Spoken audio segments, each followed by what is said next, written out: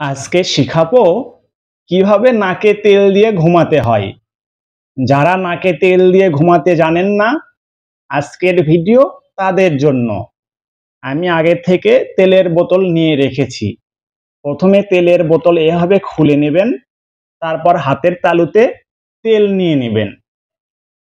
তারপরে এইভাবে সুন্দর করে নাকে তেল মাখিয়ে নেবেন। মনে রাখবেন যত ভালোভাবে তেল মাখাবেন, ঘুমটা ততই ভালো হবে। তো তেল মাখানো হয়ে যাওয়ার পরে ঠিক এইভাবে শুয়ে পড়বেন।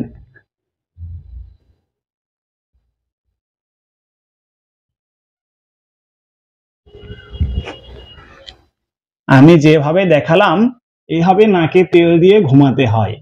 যারা নাকে তেল দিয়ে ঘুমাতে জানেন না, আজকের ভিডিও তাদের জন্য। আজকের ক্লাসটি এখানেই শেষ হলো।